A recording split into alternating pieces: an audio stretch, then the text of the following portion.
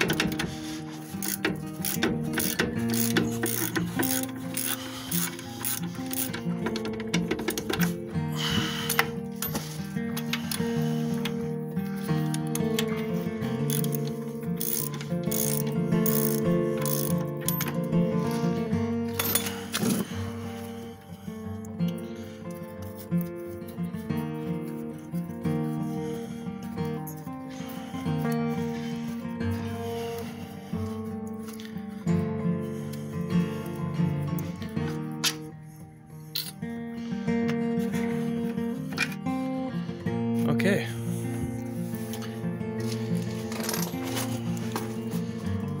Now with a little bit of shaking and wiggling, should be able to pull this whole face right off and then find a nice tying point just to tie it with. So I'm gonna need two hands to do this. Okay, so got it off. Didn't take much force at all, just shook it loose. Tied it up to my leaf springs in the back just to keep it out of the way so you don't pinch the brake lines. Next thing is remove the rotor. Now this could be uh, pretty tight to take off sometimes depending how good your parking brakes are. You might need to do a couple shakes, maybe hit it, hit it with a hammer. Um, your overall goal is to get this to slide straight out. So sometimes hitting it straight in, just don't damage your lug studs. So after uh, vigorously shaking this. Um, was able to get the rotor off. Uh, I think it helped when I put it in neutral. Just make sure you're parked on a level surface. You can see here my parking brake pads. And these are next to go. We got a couple things we got to do.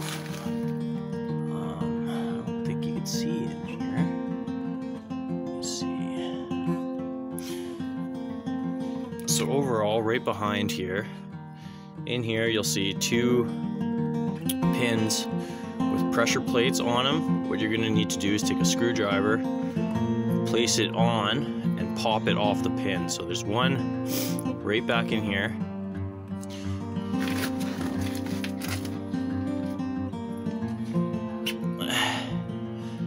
And a second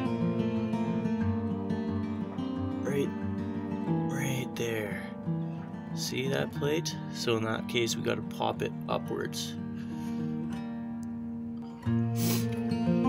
Also, um, these springs. So we got one on the top and two on the bottom. So what we're gonna do is we're gonna clamp onto it here on this side and pull it off this bracket. And same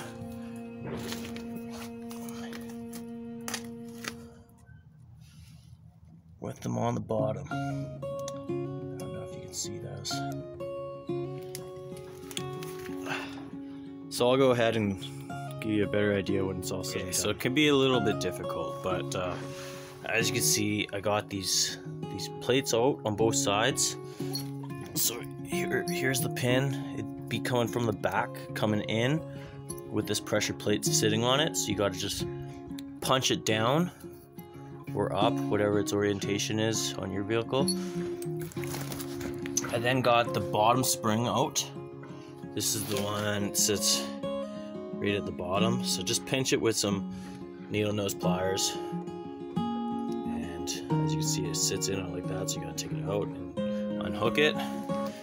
And also the uh, tensioner adjuster so that's just sitting on the bottom. That just pops right out. Uh, the top's a different story. Uh, the two springs are on the top, so I got the first front spring out, but there's still a spring in the back here.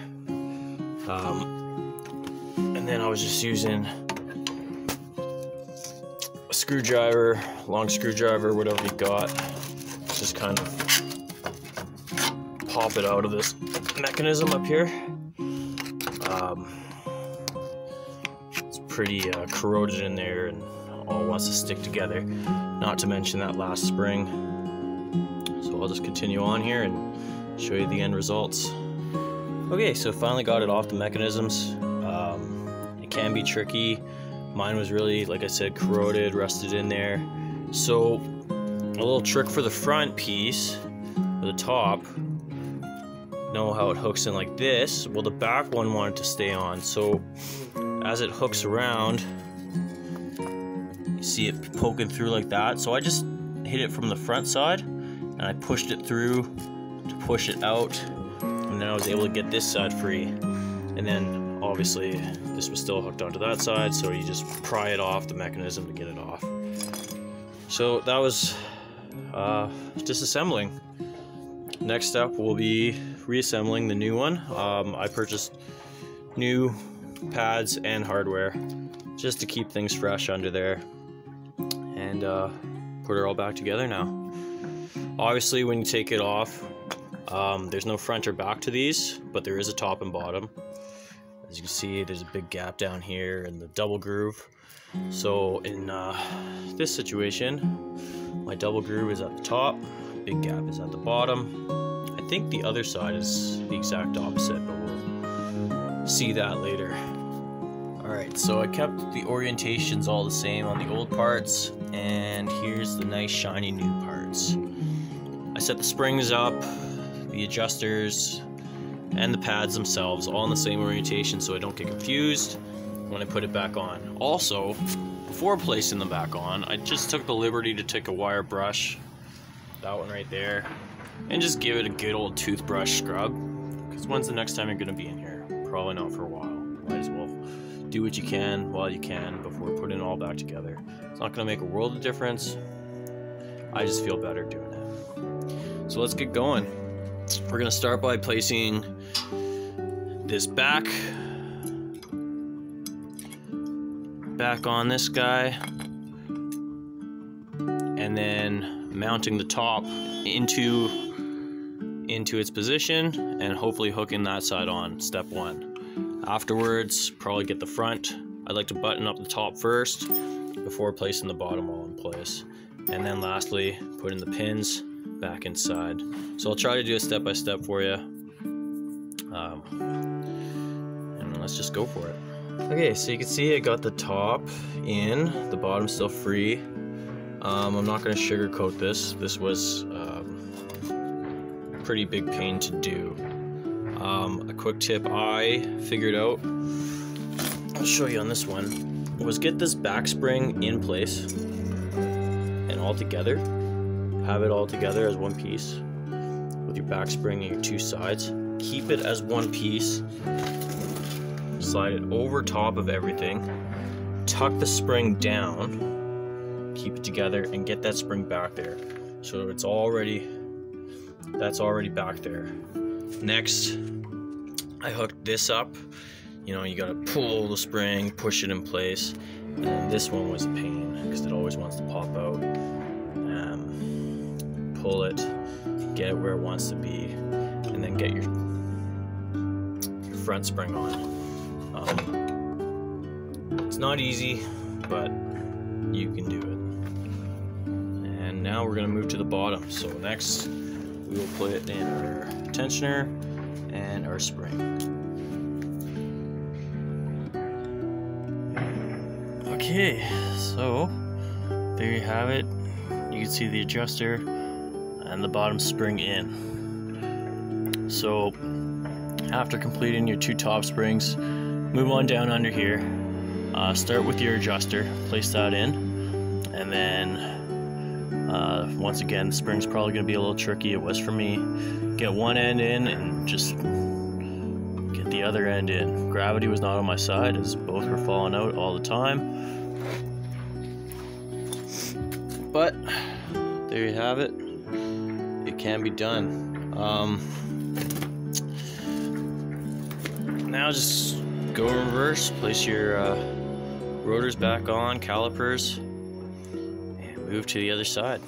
Cool. Thanks for watching.